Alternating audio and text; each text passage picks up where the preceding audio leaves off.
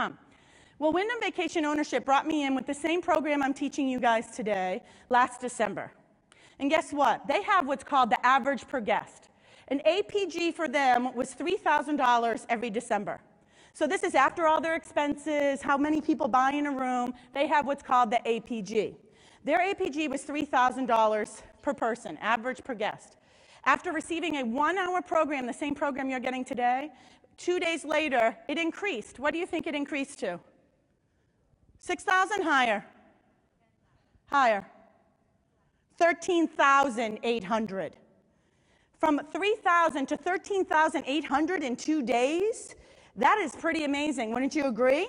In two days. So imagine if you could have that much of a big margin, a big jump in the properties that you're managing and getting people buying maybe even new properties. And then imagine that having that, that significant jump.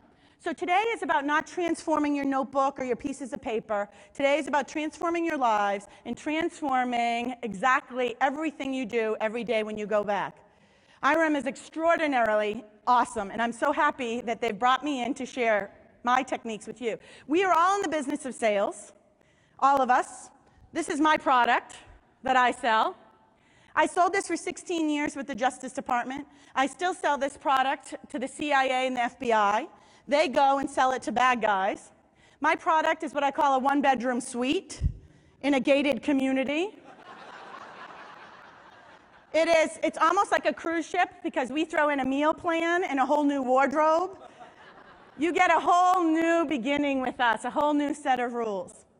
If I can sell this to bad guys, to child molesters, to kids that are selling drugs in school, to men who are, are violating women, if I can sell this to people and they get to tell me the truth, wouldn't it be great if I could give you those same tools?